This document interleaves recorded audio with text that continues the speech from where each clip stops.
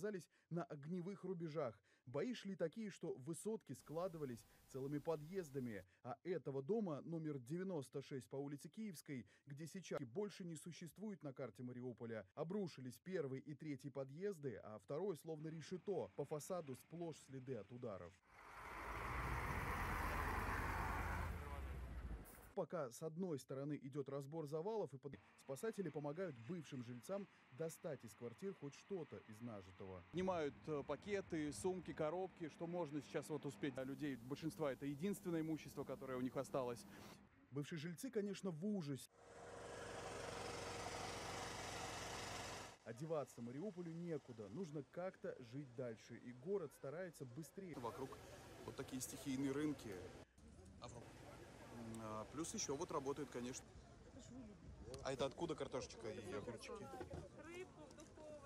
Понимают, что это непростое испытание. На рынке не только овощи, фрукты, но и меба. Есть даже масло, молоко, сосиски и кондитерка всех видов. И главное, у людей, понимаем, пока стоим в очередях, есть деньги. В основном гривны. И показали эти тяжелые дни в добро и в лучший исход. До 15 числа мы работали, 14 апреля мы приняли крайние роды. А 15 апреля нас попросили покинуть помещение.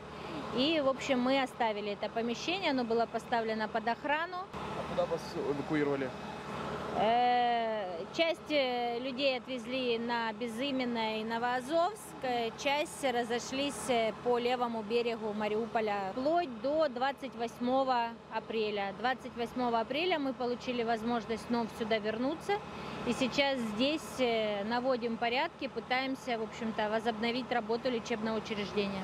Заведующая акушерским отделением показывает готовые палаты для родов. Да, большинство оборудования у нас в отделении не пострадало, все на месте, мы рады. Это медучреждение единственное уцелевшее в огромном левобережном в нормальном стационаре. Раненых еще очень много. Особым местом останется подвал здания, где укрывались во время прилетов. Не, хотя бы Блядь!